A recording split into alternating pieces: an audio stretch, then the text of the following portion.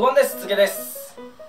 今日はですね今日はですねとか最近ちょっと地震とか大雨とかあのー、関西に住んでるんですけど結構災害が多くて北海道に住んでる地元の友達とか、まあ、大学時代の友人とかと「矢先災害ひどいね」いろいろこうね水だったり乾パンだったりっていう備蓄？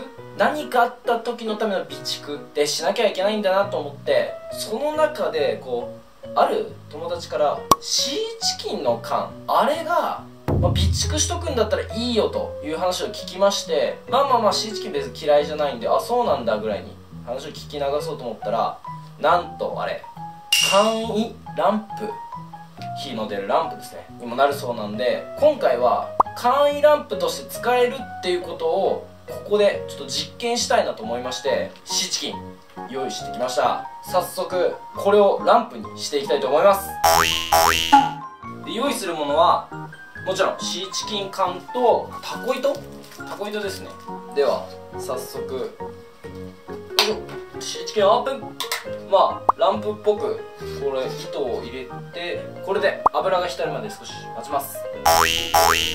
ちょっと時間を置いたのでだいぶねこの糸に染み込んできたんで実際つけていきたいと思います。よしそれでは点火していきたいと思います。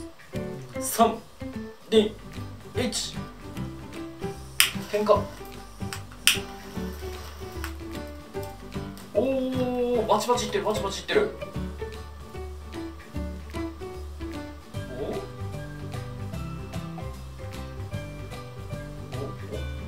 はついたのか？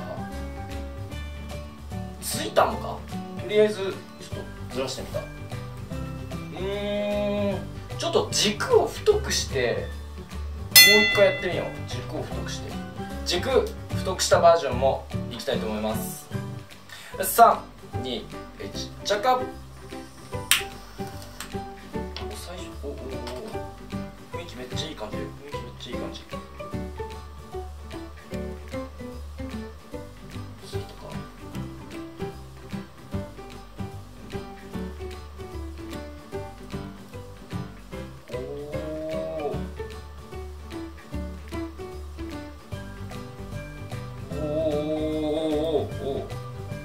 これランプとして結構成り立ってるんじゃないですか？